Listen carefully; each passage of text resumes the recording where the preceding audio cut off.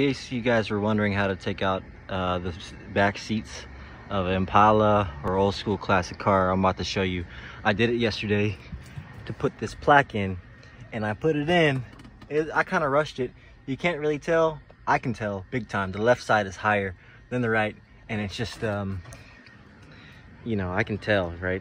And I'm gonna take this speaker grill out and put another classic one, a flat one but um yeah i haven't seen any videos of how to take the seats out.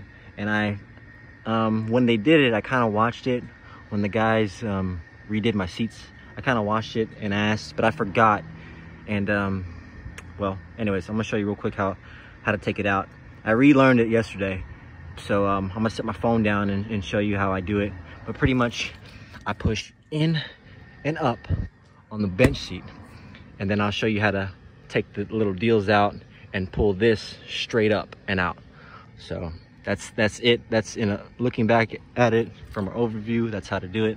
Um, I'm really surprised that nobody shows it, man. But a lot of people just nobody really shows how to do that shit, you know. So here's how to do it.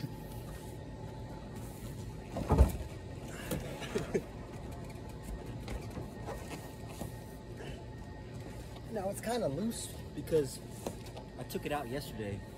So it's pretty much these, these guys right here. That was really simple. Yesterday was not like that, and I'm sorry. It was so easy. But yeah, those come out of here. These two. Now for the seat part, there's little um, hooks right here on the corners.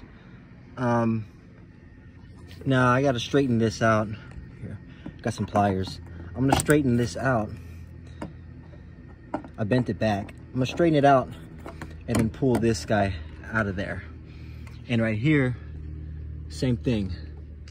I'm gonna straighten this with pliers out like that and then go down and out. Same two, two over there. So it's the same process. And then you lift straight up and out and I'll show you.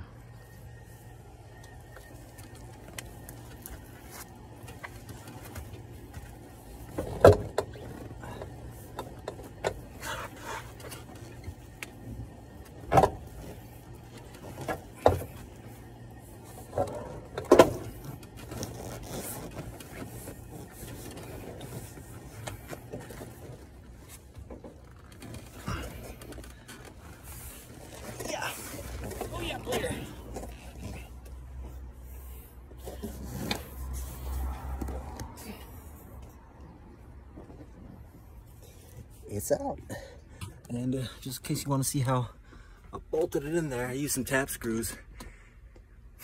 Put it in the wrong way, or not the wrong way, but the, it's hard to measure it. Now I can see it. I'm gonna have to go up with this. But yeah, this is what it looks like back here, by the way. That's how to do it. These guys, that, it's pretty simple. Really simple, actually. You saw me do it. So, that's it. Peace out.